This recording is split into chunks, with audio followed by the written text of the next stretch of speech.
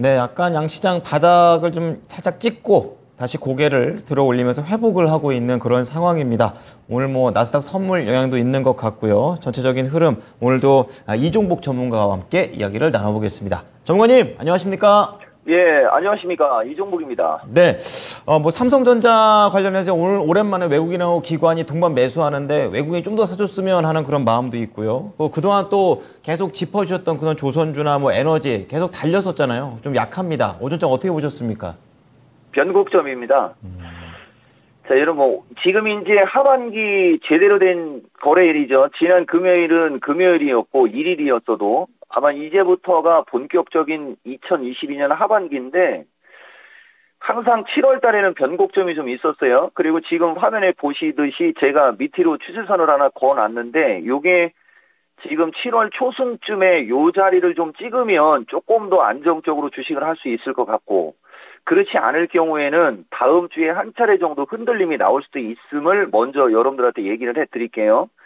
우리나라 시장은 제가 지난번에 지수가 처음에 급락할 때 315 플러스 마이너스 수준으로 내렸을 때 6월 중말순 쪽, 말 말고 6월 중순쯤에도 그런 얘기를 한번 해드렸었던 적이 있었는데 어떤 얘기냐면은 우리나라는 기본적으로 9에서 13일 정도의 2주 코스로 장이 움직이고 조금 늦으면은 평균 21일에서 25일 정도 조정을 받는 게 특징이거든요. 그러니까 지난번에 연초에 크게 하락했을 때 여기서부터 여기까지가 대략 20일, 22일째 바닥이 나왔었던 적이 있었습니다.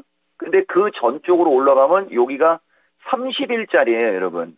이게 우리나라 시장이 하락장에서도 많이 빠진 다음에 반등이 나올 수 있는 기간 타이밍이거든요, 여러분. 그러니까 9에서 13은 이미 지났고, 그 다음에 21 타이밍도 지금 지나가고 있고, 요, 요 타이밍에서 지수가 고점에서 빠진 부분이 있다 보니까 300은 상징적인 의미가 있습니다.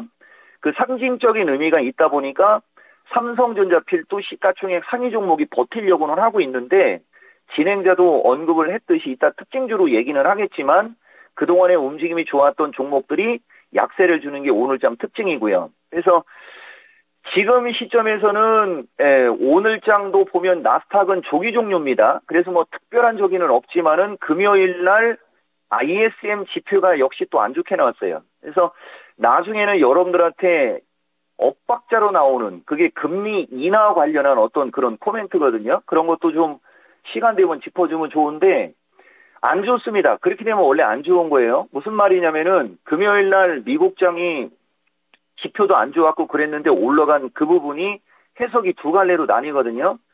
경제가 너무 안 좋아고 안 좋다 보니까 뭐 연말로 가면서 오히려 금리 인상을 멈추고 금리 인하도 가능한 거 아니냐 뭐 이런 이상한 기사가 나온 게 있어요. 근데 그 기사 관련해서는 저도 여러분들한테 좀 코멘트를 저희의 의견을 줘야 되는데 저는 그건 안 좋은 쪽.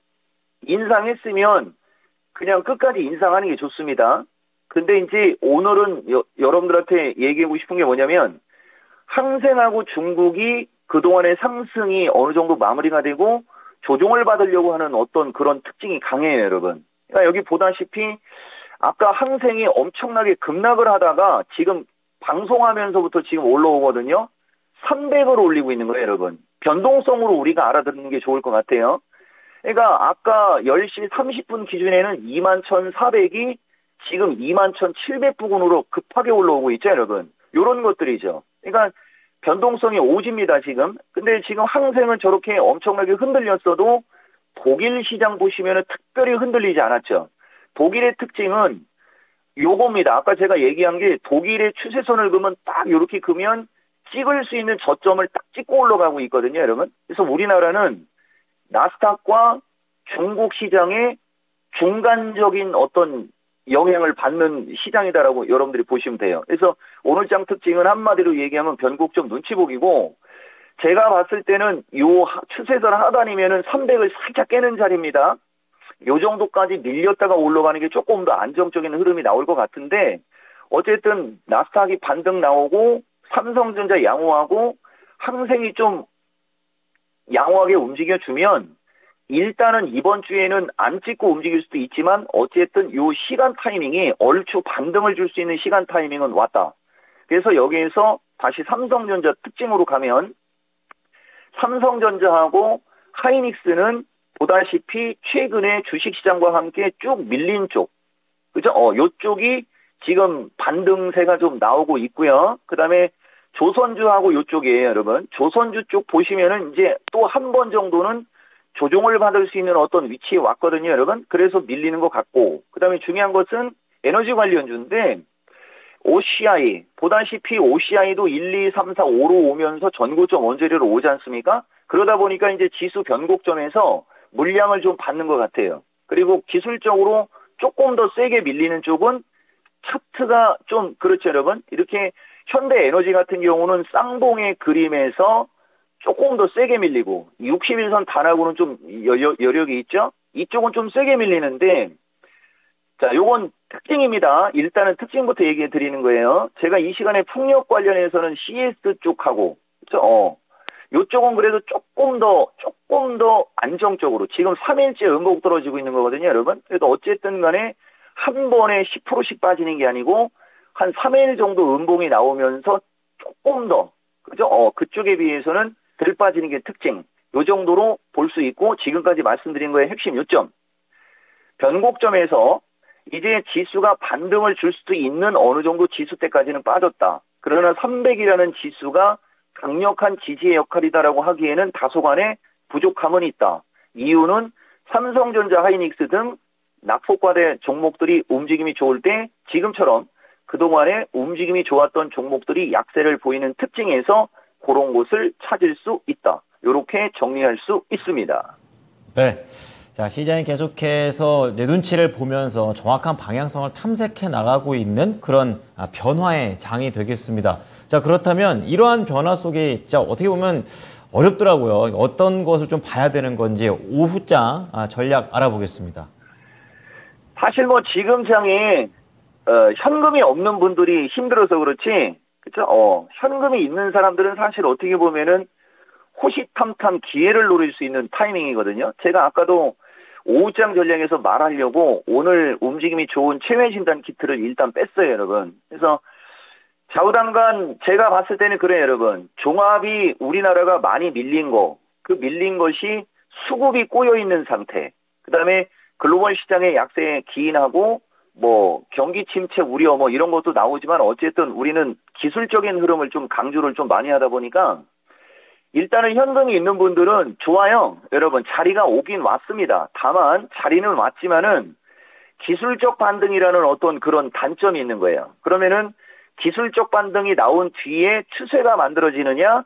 그렇지 않는 나에 우리가 포커스를 계속해서 둬야 되거든요. 그러니까 환율 수급 뭐 이런 거 제가 얘기 드렸던 거 최근에 다시 요번 주에는 그렇게 심하게 얘기는 하지 않을 겁니다. 아마 종목 얘기나 기술적 얘기를 좀 많이 해드릴 텐데 잘 참고하시면 될 것 같아요. 그래서 오늘장 특징의 최외진단 키트가 강세였었는데 제가 뺐는데 후, 후장 전략도 마찬가지예요, 여러분.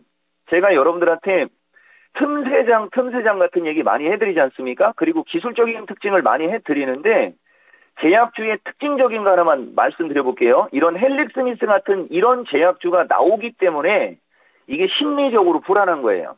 그러니까 이 주식은 특징주입니다. 바닥을 다져놓은 기간이 상당히 오랜 기간 동안 바닥을 다져놨음에도 불구하고 이제 기사 같은 게 나오면서 이렇게 밀어버 이렇게 밀어버리면 손이 안 나가죠, 여러분.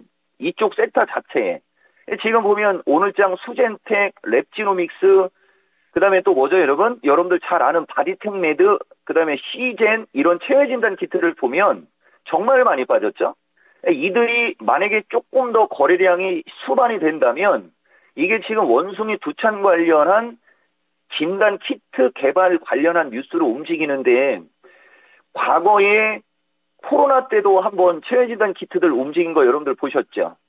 이 원숭이 두창이 WTO에서 계속 이슈화하고 막 그러면 매수세는 몰릴 수는 있어요. 그렇지만은 과거에 움직일 때는 정배열권에서 치고 갔던 거고 과거에는 정배열에서 치고 간 거고 지금은 역배열에서 갈만한 게 없으니까 움직이는 것 같아요. 제가 봤을 때. 그래서 과거처럼 큰 기대감은 안 가져도 어쨌든 좌우당간 틈새 장은 형성한다. 그래서 체외진단 키트 같은 것은 기술적으로 여러분들이 좀 노려볼 만하다. 여러분들한테 이런 말씀 드리고 지수 선물은 특별히 얘기 안 해도 되죠.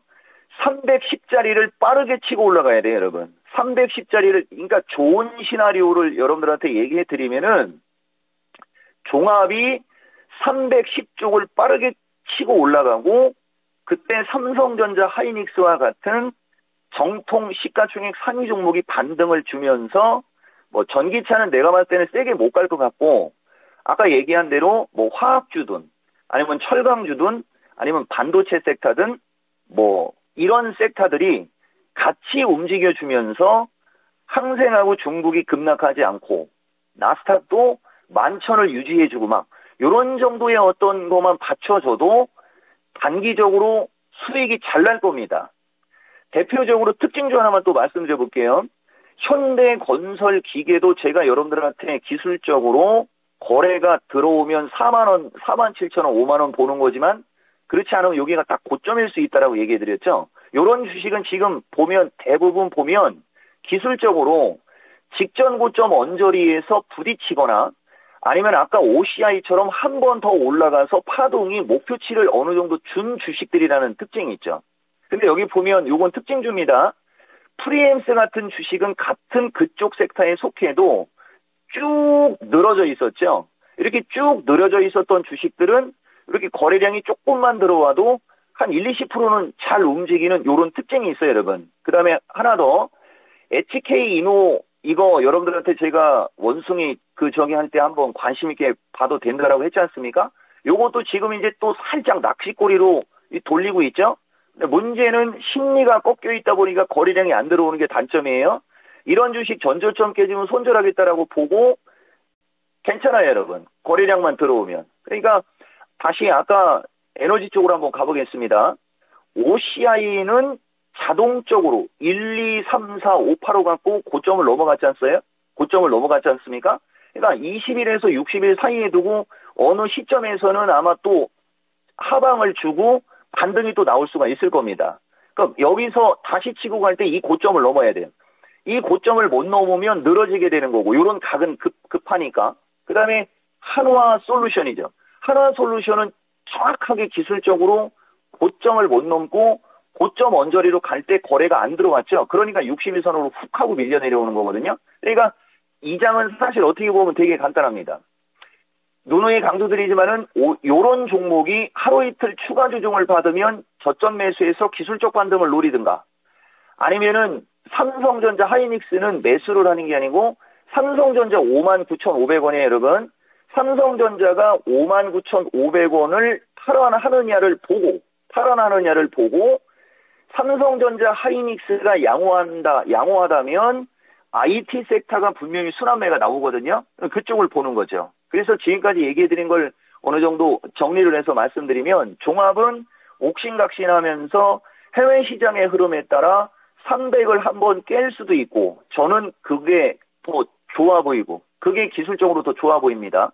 근데 만약에 그렇지 않고 반등이 이어진다. 그러면 310 정도, 310에서 312 부분 정도, 그 정도까지는 뭐 지수 반등을 보면서 대응이 안 됐던 분들이 좀 대응을 하는 그다음에 종목은 삼성전자 하이닉스가 좋으면서 반등세가 이어질 경우에는 그쪽 섹터가 좋은 쪽을 2박 3일 정도 노리거나 아니면 아까처럼 에너지 관련주들이 하루 이틀 정도 밀리면 반등이 나올 수 있거든요, 여러분.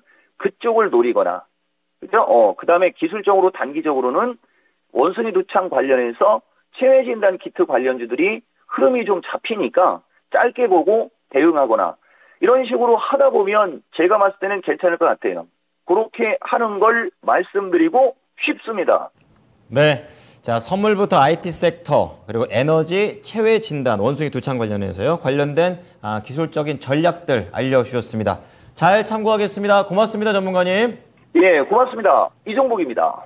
네, 실전 매매 최고 수익일 이종북 전문가였습니다.